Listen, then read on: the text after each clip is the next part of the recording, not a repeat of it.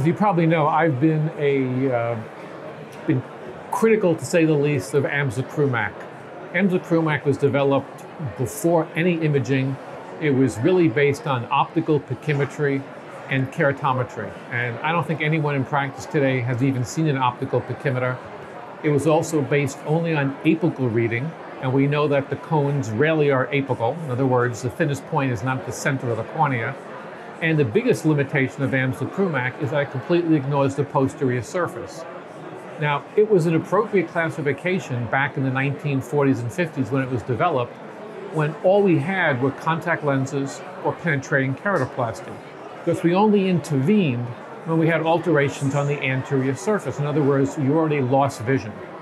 We, we didn't have treatments such as cross-linking, cross-linking, which allow us to intervene at a much earlier stage and to prevent the loss of vision, not just to treat the loss of vision. So we needed to come up with a way to classify disease that recognizes A, the new treatments, and B, the full anatomical layers. So the ABCD classification looks at, first of all, not an apical region, but the, where the cone is located, so at the thinnest point, and also measures both the anterior and posterior cornea, as well as corneal thickness and distance visual acuity. The main advantage, again, is that now we're recognizing changes on the posterior surface, which allows us to recognize and characterize disease at a much earlier stage and to identify disease before we actually lose vision.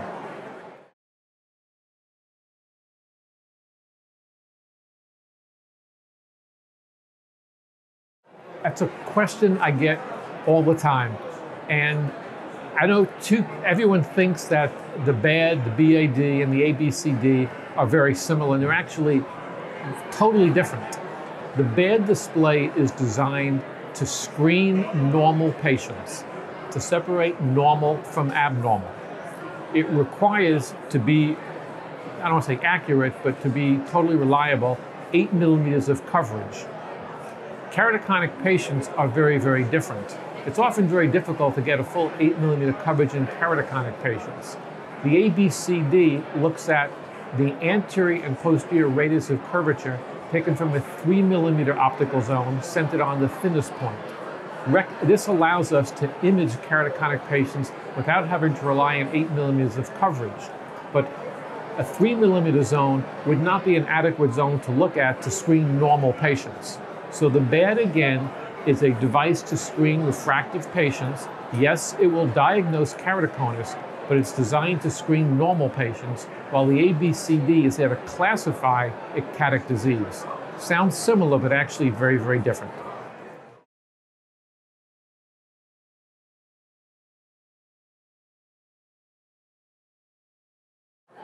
Well, hopefully it'll convince at some point the US insurers to change their insane policy of requiring only worsening of already decreased vision before we intervene. In other words, not all, but most carriers in the US require that you actually have loss of vision that gets worse before they'll approve cross linking. And I give an analogy that would be kind of like your doctor saying, Well, you have high blood pressure, but I can't prescribe blood pressure meds until you have your first stroke.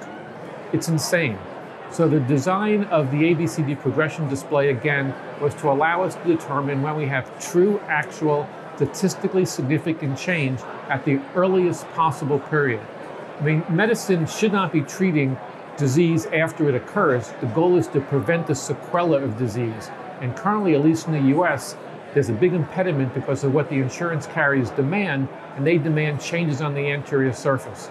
We should convince them, and hopefully eventually it'll change, that will allow us to intervene at the earliest possible change where we can document true statistical change in, but again, prevent loss of vision, not stabilize it after it already occurred.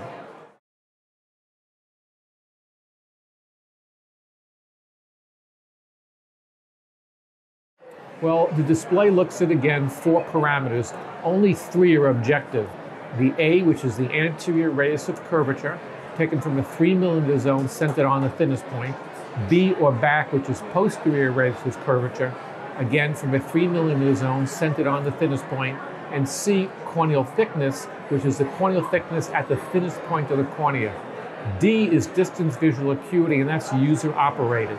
only the first three have to have uh, confidence intervals to, to determine change. And what we've done is we looked at two different populations, both normal and keratoconic, and we determined when there's both an 80 and 95% confidence interval for change. We recommend that you probably have at least three exams over time and look at both each parameter and determine either when one parameter reaches a 95% confidence interval or two parameters reach at the 80%. For those of you who do your math, two parameters at 80% effectively is the same, but one parameter statistically at 95%. In general, we recommend at least probably three separate exams, but if you have a very young patient, again, it's up to the user to determine based on risk analysis whether they want to wait or intervene. The maps are there only to assist the surgeon, not to replace the surgeon's decision making process.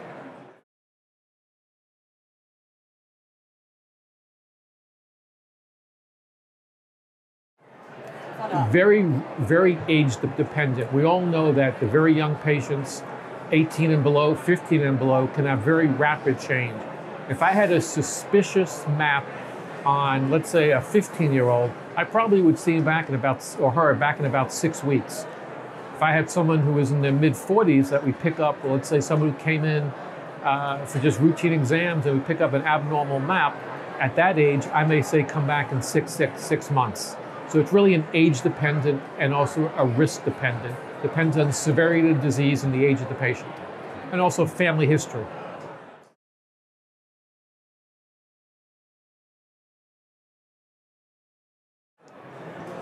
As I said earlier, we probably would use three exams over time.